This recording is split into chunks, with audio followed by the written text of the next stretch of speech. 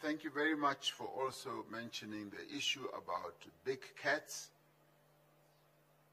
We were pleased as South Africa to donate cheetahs to India, and you informed me that the cheetahs arrived well and they are alive in India.